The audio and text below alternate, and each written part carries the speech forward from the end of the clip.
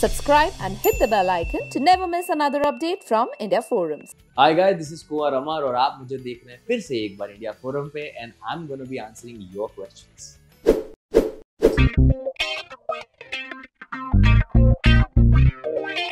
तो सबसे पहला सवाल है what's your favourite holiday destination भाई? भाई? लड़की ने लिखा है भाई। ओ अच्छा। आई वाज लाइक ये सवाल समझ नहीं आया। फेवरेट हॉलीडे डेस्टिनेशन यार मेरे को ना अभी बहुत दुनिया देखनी बाकी है ऑनेस्टली लेकिन मेरे टिक में जो नंबर वन पे है ना वो है Italy. I really want to go to Italy मैंने बहुत सुना है उसके बारे में। uh, और बहुत वीडियोस भी देखे हैं उसके वो बहुत खूबसूरत है तो मुझे इटली जाना है।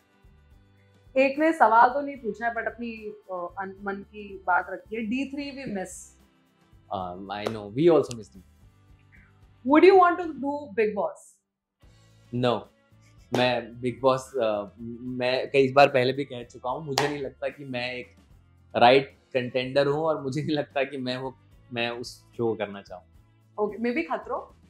Khatron Khiladi I don't mind I don't mind any other reality show पर बिग बॉस से मुझे डर लगता है भाई मैं साफ़ बता रहा हूँ मैं मैं बड़ा डरता हूँ बिग बॉस से।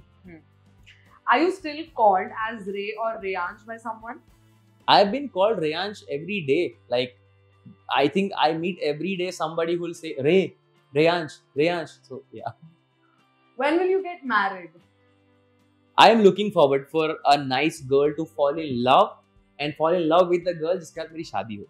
Uh, मेरी जो ड्रीम गर्ल है ना मतलब मैं मैनिफेस्ट कर रहा हूँ पता नहीं पर अगर इस साल में मैंने कोई फ़िल्में कर ली आई डेफिनेटली वांट कि नाम बोलना बोल दो क्या ज़्यादा हो जाएगा यार but yeah I I really like Tara let me say that Oh my god. Are you in touch with the D3 gang? Of course I mean अभी शांतनु का बर्थडे था कुछ दिनों पहले हम लोग सब बॉलिंग कर रहे थे और हम लोगों ने बहुत खेला। uh, और तो हम लोग तो मिलते ही रहते हैं। ओकेजन ढूंढते रहते हैं। uh, हो सकता है कल भी हम वापस मिले। अगर मैं कुछ प्लान कर रहा हूँ तो और नहीं तो हम लोग घर पे तो बैठते ही बैठते हैं। So definitely we are in touch Who is your favorite cast from Anupama? यार ये सवाल ना बहुत कॉम्प्लिकेटेड हो जाते हैं। ऑफ़ कोर्स फेवरेट कास्ट में बहुत सारे लोग हैं यार बट बाबूजी जो है ना उनसे मेरा एक अलग प्यार है। uh, कल उनका फ़ोन आया था मुझे पूछने के लिए कि तू सेट पे आ रहा है क्या? मैंने कहा नहीं कल तो छुट्टी है। बोले अरे यार तेरे लिए थेपले लेके आ रहा था मैं। तो उनकी वाइफ है वो मेरे लिए थेपले भेजती है।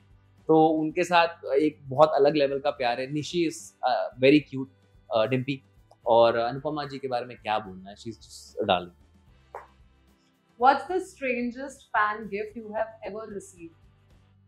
Gift strange strange gift तो यार स्ट्रेंज गिफ्ट तो नहीं मिले ऑनेस्टली कभी भी जितने भी गिफ्ट आए हैं बहुत थॉटफुल आए हैं बहुत ही सोच समझ के लोग भेजते हैं पता नहीं इतना ज़्यादा सोचते हैं कभी कभी कि हमें लगता है कि बाप रे इतनी इन डिटेल सोचा है तो स्ट्रेंज तो नहीं अ, मैं कहूँगा कोई गिफ्ट मिले लेकिन हाँ बहुत सोचे हुए बहुत What's the funniest mistake you have made on live TV?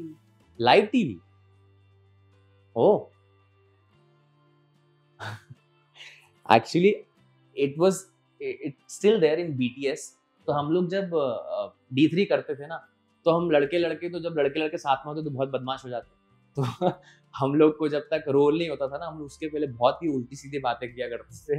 तो कई बार ना भी एक दूसरे को गाली भी दे देते थे।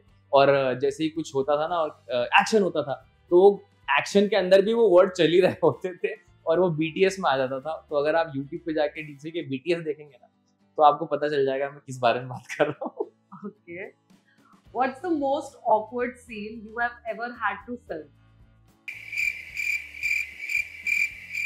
बहुत सारे बहुत सारे ऑकवर्ड सीन्स हैं क्योंकि अगेन डी थ्री में तो इतना रोमांस किया है ना कि I remember there was a rain sequence जिसमें मुझे और शक्ति को डांस करना था एंड वो डांस के बाद बहुत सारी प्रॉक्सिमिटी थी और uh, एक तो शूटिंग का पैटर्न आम जनता को तो नहीं पता है पर वो एक जगह खड़ा करते हैं ना तो डायरेक्टर कट ही नहीं बोलता है क्योंकि उसको राउंड ट्रॉली भी चाहिए उसको क्लोजअप भी चाहिए उसको टू शॉट भी चाहिए उसको ओएस भी चाहिए।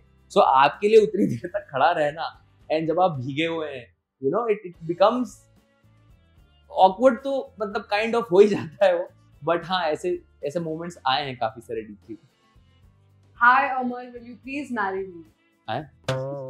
हाँ। अच्छा ऑफ़र है। Will talk about it later okay तो ये थे जनता के सवाल। Thank you thank you Janata.